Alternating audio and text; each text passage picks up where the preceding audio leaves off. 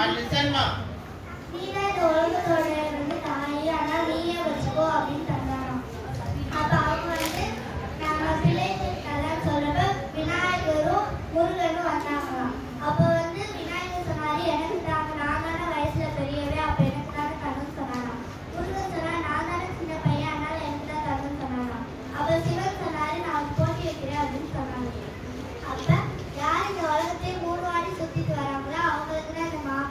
சொல்றப்ப முருகன் வந்து மயில் மயில் வாகனம் எடுத்துட்டு உலகத்தை சுத்த போயிட்டாரு. அப்ப வந்து விநாயகர் யோசிச்சுட்டே இருந்தாரு.